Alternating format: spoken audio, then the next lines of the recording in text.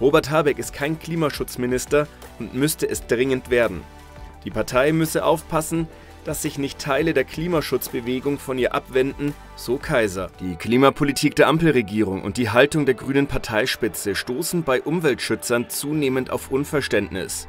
Die Kritik reicht von Klimaschutzgesetzen, die dem Naturschutz schaden könnten, bis hin zum Ausbau neuer fossiler Infrastrukturen.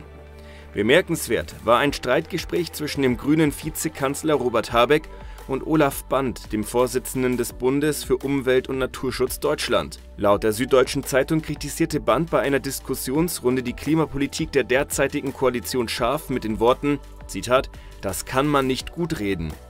Er warf den Grünen vor, die Klimaschutzanstrengungen zu beschönigen.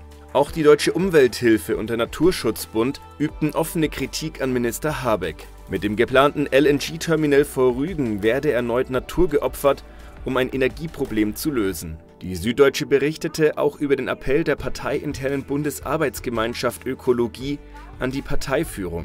Die Grünen müssten dunkelgrün statt blassgrün werden und den Erwartungen der Öffentlichkeit als Umweltpartei gerecht werden.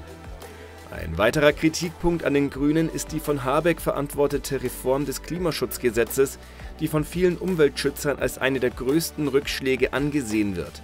Martin Kaiser, geschäftsführender Vorstand von Greenpeace, kritisierte, es sei skandalös und wirklich erschütternd, dass ein grüner Wirtschaftsminister ein Gesetz vorlege, das die zivilgesellschaftliche Kontrolle im Klimaschutz aushöhle. Gegenüber der Süddeutschen betonte Kaiser weiter, Zitat, Robert Habeck ist kein Klimaschutzminister und müsste es dringend werden. Die Partei müsse aufpassen, dass sich nicht Teile der Klimaschutzbewegung von ihr abwenden, so Kaiser.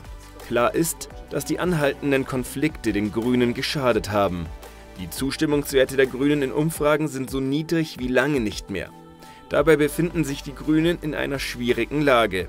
Sie müssen sowohl den Forderungen von Wissenschaft und Umweltschützern nach einem wirksameren Klimaschutz nachkommen, als auch den Bedenken vieler Bürger begegnen, denen die Klimaschutzmaßnahmen zu weit gehen. Vielen Dank für deine Aufmerksamkeit. Ich hoffe, dir hat das Video gefallen. Wenn du weitere Inhalte von mir sehen möchtest, abonniere gerne Politik im Fokus und aktiviere die Glocke, damit du keine neuen Videos verpasst.